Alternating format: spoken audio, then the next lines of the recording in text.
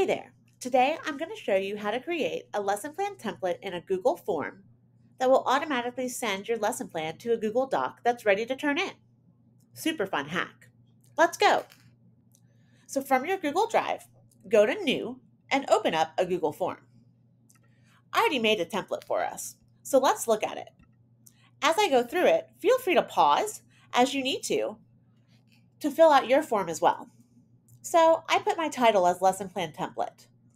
Then I added the date, the class name, the topic, the objectives, the standards with checkboxes so that I could select more than one, the activities, the materials, and then the assessment type, also with checkboxes so I could select more than one.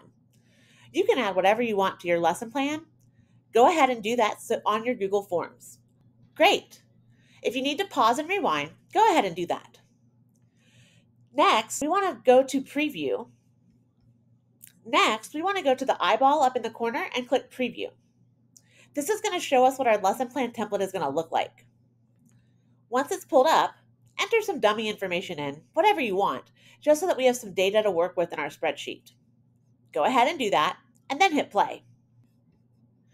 Now that you've submitted your data, let's go to the Responses tab.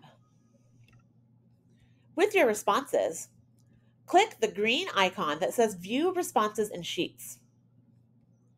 Once you click it, your lesson plan template responses will open up in a Google Sheet. Leave it there on your, on your screen. Go back to Google Drive, click New, and open up a new doc. We need to create a data document for our information to load into. I've already created that.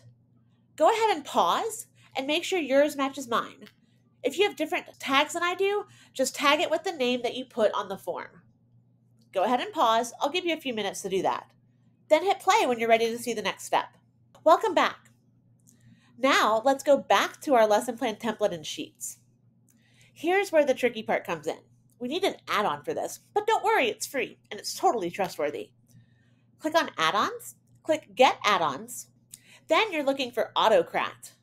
It looks like this.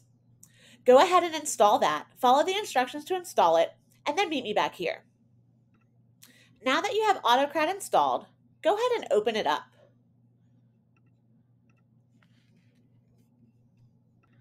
Once it opens, we're going to click New Job.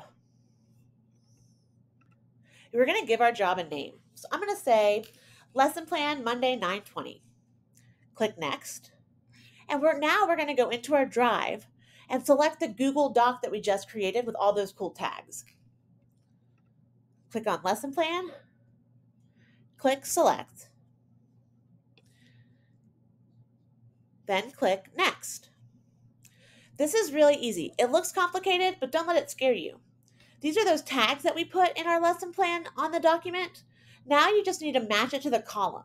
So you're going to click and you're going to match it to the column that it goes with. Go ahead and do that, and then click Next. Once you've gone all the way down and matched all of them to each other, click Next. Give the file a name. So I'm going to call it Lesson Plan Monday 921 20, sorry.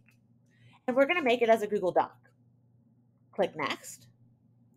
You can choose a folder to load it in, or you can just let it go to your drive. Next, you can add a dynamic folder reference. What is that? That's super easy. It just lets you search for your lesson plan based on different things. So I'm going to add two date and class. Click next. I'm not going to merge anything additional. I don't want to share my doc, but you could put in your email if you have to share it with a principal or a supervisor. Click save when you're done. Once this comes up, you can go back to your Google Drive you should see the title that you created in Autocrat pop up in your suggested documents. Click on it and open it. And look at that. All the data we put in our Google form has now filled into our document. So your lesson plans are ready to submit.